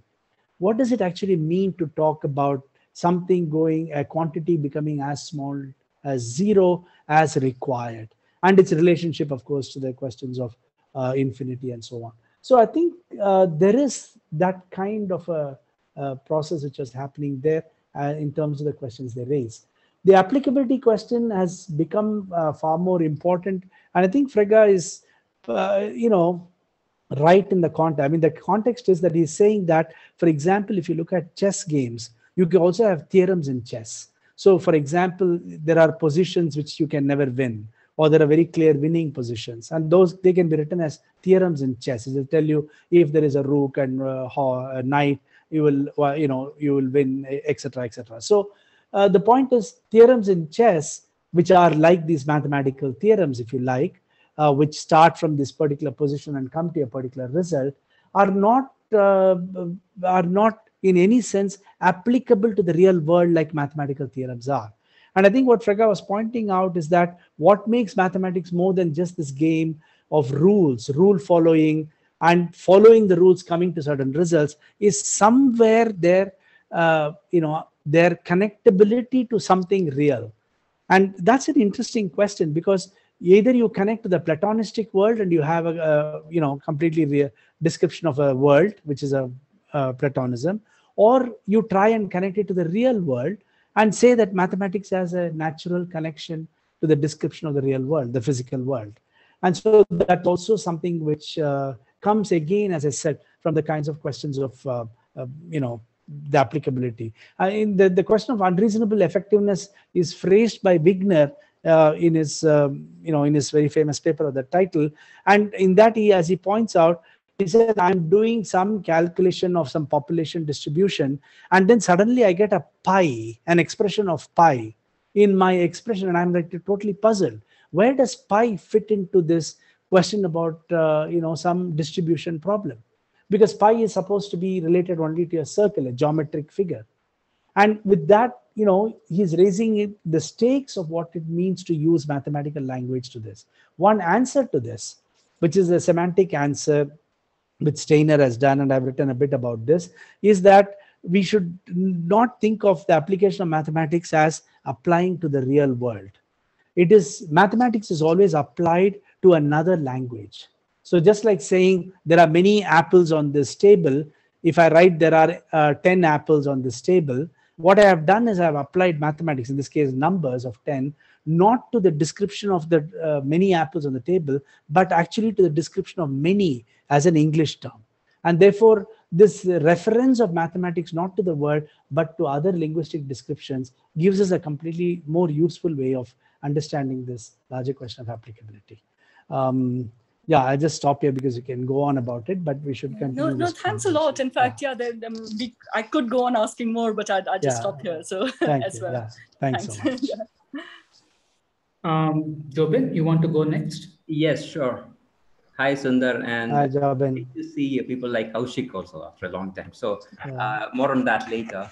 But I just wanted to ask you uh, something about this uh, uh polemical aspect which you mentioned, right? By the way, kind of but the it's not by the way. I think you part. I think you had a very clear uh, plan behind uh, using that. Uh, you know, polemical. The word. You know, you had a pol- polemical uh, thing to convey with you using this uh, idea of different cultures of mathematics. I was wondering if you know if we acknowledge these different cultures of mathematics, do you think that's going to be helpful to you know mathematics education? That's one yeah. I want to ask. Okay. And then, second question is, you know, nowadays. Mm uh, is you know is programming sort of related to uh, mathematics uh, in some sense? You know, so you kind of indicated that it is, and you know there is this uh, attempt to introduce coding. I want I want to just bring it to the real world and what's happening around us because I'm also a polemical kind of person. So uh, you know there's an attempt to introduce coding at a very young age. You know, maybe six or nine or something like that. Do you have any uh, uh, reflections on that? Do you kind of see any connections? You know, this whole uh, thing of universality and you know a single way of viewing mathematics, and that yeah. as an indicator of intelligence and all that. I know I'm going all the way, all over the place. Yeah, yeah. I just wanted to see if you have thoughts on that. No, thanks, Jobin. Uh, very important points, both of them. Particularly the question about, yeah, I did use polemic because I'm trying to qualify myself, you know, protect myself in some sense because, you know, the moment you start of cultures and multiplicity of mathematics, some people get a little bit worried. Uh, but the point is, uh, I the main reason why I think these things matter, why I even think about it as something worth trying to understand and worth talking about, is in exactly for the reason you talk about, which is that one of the biggest problems in maths teaching, in maths education, is the way in which it has excluded a very large number of people, something which you have thought a lot about. And mathematics particularly seems to be a cutting point for many people across uh, caste, across gender, into doing, you know, the, the discipline or entering science and so on. And I've always been wondering about how you actually teach mathematics. See, either there is something called natural ability that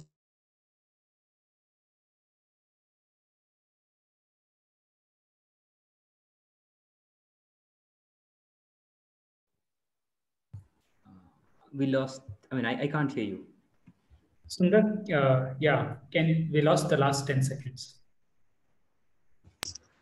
yeah sorry um you're talking about the ability. Yeah. So I'll just uh, switch my connection and see. Okay, it should be. Can you hear me now? Yes, yes. Can you hear me? Yes. Yes, Sundar. Yeah. Uh, Sundar, we. Uh, yeah. Yeah, yeah. I, you look like can, I, can you hear me? Yeah, sorry. No, I was saying that the ability of yeah, the, you know, the kind of. So why is it that so people are not able to do mathematics? Is it because, yeah, okay, I'm cutting uh, my video off. So let's see if yeah, this yeah. works better. Yeah. Okay, so continue. Okay, so what I'm saying, yeah, so what I'm saying is that uh, either it is some innate ability in these children that they're not learning mathematics, or that there are the ways of teaching mathematics are uh, wrong. And i have always felt having you know always enjoyed teaching maths to kids eh, always informally. That's one thing which i've always been doing right from school days that i find it uh, impossible to believe that it is the lack of certain kind of cognitive capacity they have so what is this question about teaching that drives these uh, kids so much away so in fact as varun was saying my book philosophy for children has a whole chapter. I mean, although it's about reading, writing, thinking, just making them understand these things. I have a, a, a section on mathematics and just talking about mathematics and learning to think about mathematics as a language and what the implications are if it is a language. And that's really what I've been trying to uh, push at. So I totally agree with you that uh, part of the reason for making these kinds of polemical thing is, um, uh, you know, is to actually um, really give more possibilities and be more inclusive in teaching and learning of mathematics. The second point you're talking about, um, uh, sorry, I think cultures. But it, it's about programming, you know, teaching coding. Oh yeah, teaching programming. Yeah, you know, uh, as I said, although I enjoy math so much, I am I always found uh, these computer languages so difficult to understand and learn and may not because I didn't put my mind also into it. But uh, there is a lot about computer languages which mimics one aspect of uh, mathematics, but does not have the creativity of this mathematical imagination, which, as I said, is about pictorial cognition. A lot of mathematical uh, work is about pictorial cognition. The pictures is not pictures of the world, but pictures of symbols. Symbols appear as pictures which you can put jigsaw puzzles into each other and so on. Uh, the coding uses the linear logical narrative that is making conclusion from previous sentences right that inferential mechanism but uh, as far in my limited knowledge does not have the capacity for this very rich engagement with symbolic manipulation that is present in mathematics all right yeah thank you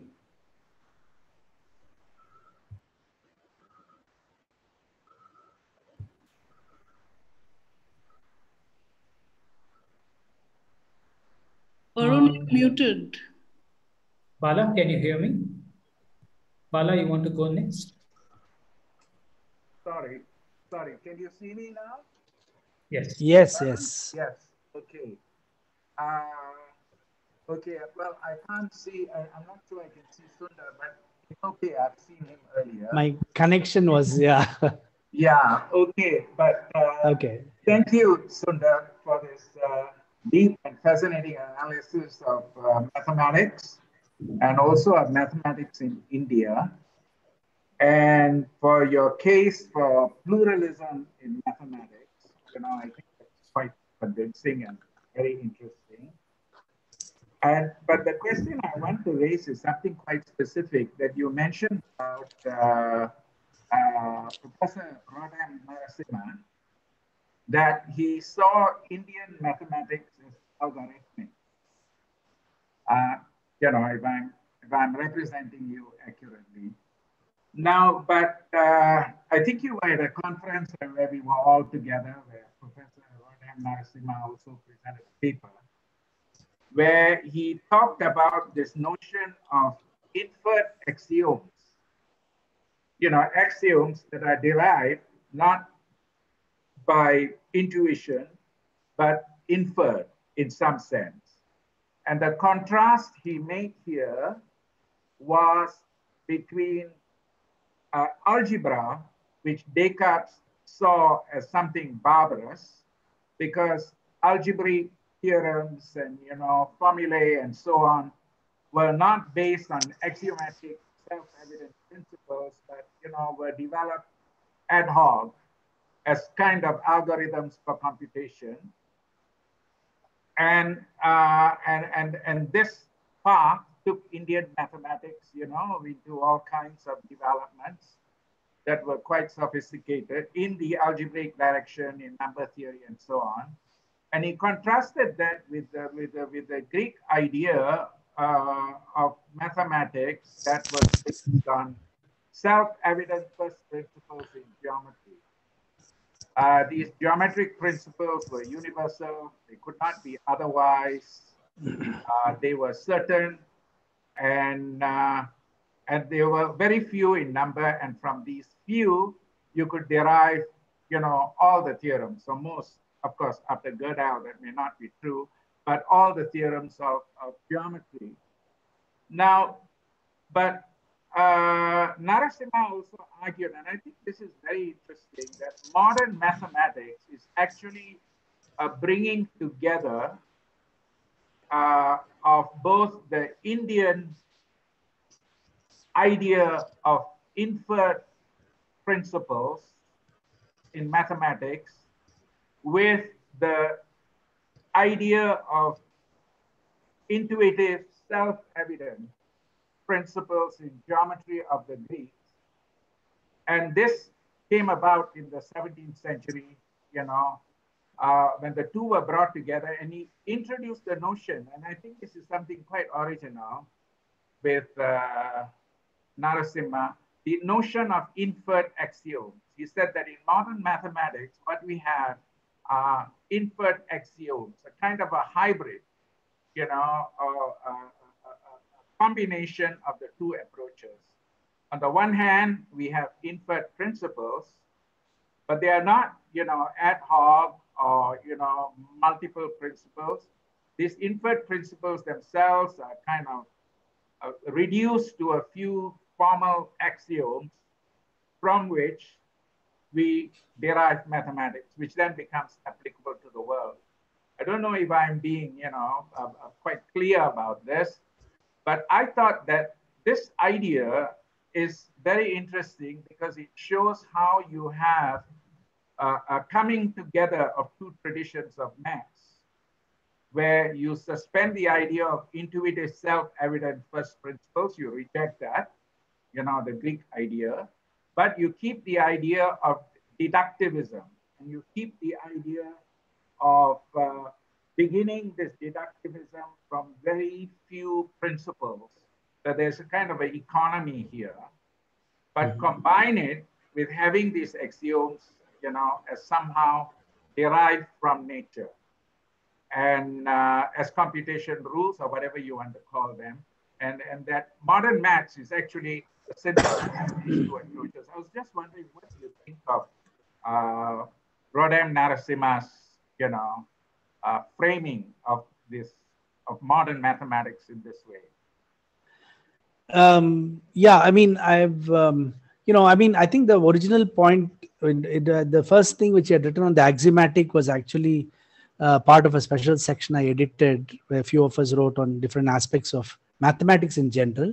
That's where he first proposed, you know, discusses this example, uh, and drawing on Frits Staal and others also in terms of Frits Staal's work on Euclid and Panini, uh, you know, that distinction. Yeah.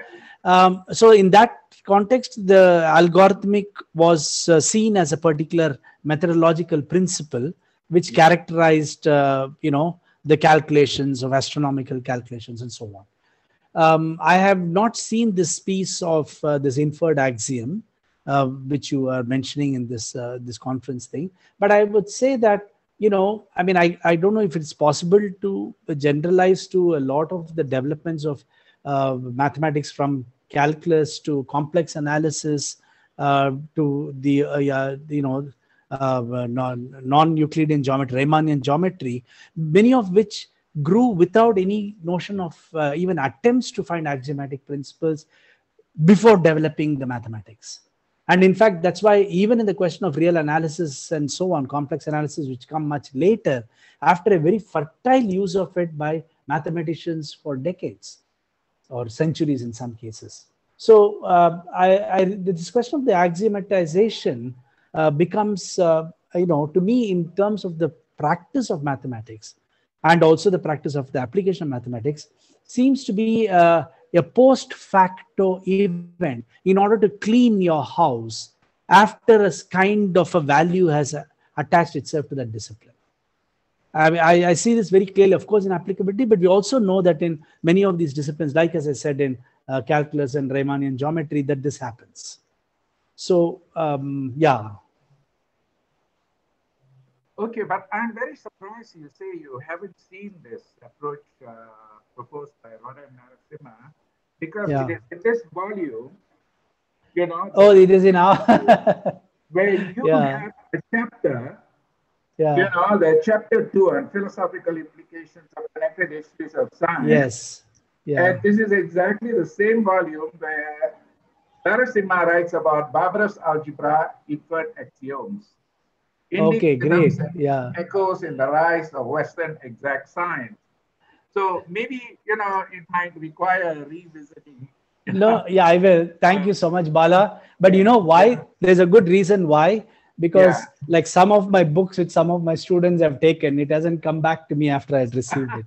So now I have to track it down, and I yeah, will. But it's yeah. glad you pointed that out. I will follow up on in, that. In fact, your, your two ideas connect very well. I. Okay. Okay. Good. So, yeah. Thank um, you. Yeah. Uh, Sundar, there is a question in the chat box um, by Rahul Krishnakumar. Um, I will read out read it out.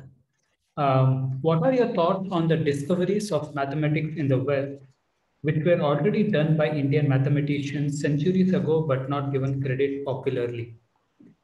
Example, power series expansion and digits of pi, does this support the argument of pluralism and raises the question of Eurocentrism? This particular point is about Eurocentrism.